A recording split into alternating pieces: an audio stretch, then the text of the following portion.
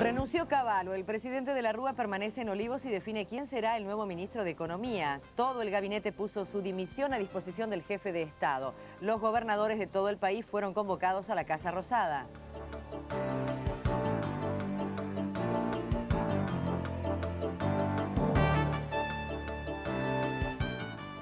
La gente dijo basta. Decenas de personas siguen en la Plaza de Mayo golpeando tachos de basura y cacerolas. La protesta empezó espontáneamente anoche. Hubo represión, corridas y gases lacrimógenos. También hubo incidentes durante la mañana. Los reclamos se repitieron en todos los barrios porteños.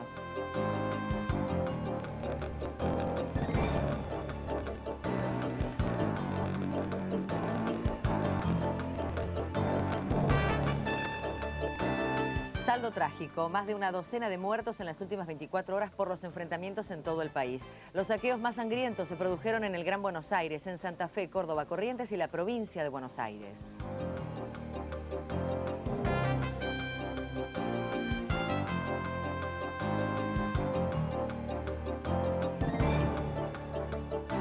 Estado de sitio rige desde esta madrugada en todo el país. Hay presentaciones judiciales pidiendo su inconstitucionalidad porque la medida fue dispuesta por el Ejecutivo, sin la aprobación correspondiente por parte del Congreso.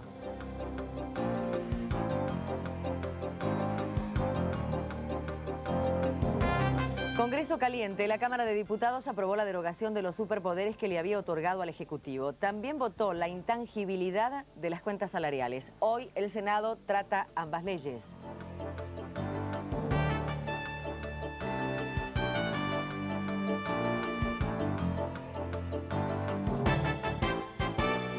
Es la recorrida que hizo Todo Noticias después de que anoche se vivieran incidentes en Congreso, en Plaza de Mayo y en general en el centro de la ciudad de Buenos Aires, donde los bancos fueron el objetivo de personas que lanzaron piedras contra las fachadas, incluso destruyendo cajeros automáticos.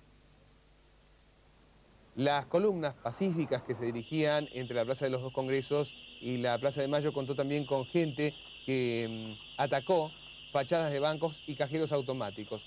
Una vez que con cascotes lograba romper los vidrios blindados, entraban y trataban de violar los cajeros automáticos, en muchos casos los consiguieron, en otros no, entonces directamente los dejaban destrozados. Y ha ocurrido tanto con bancos privados como con bancos públicos.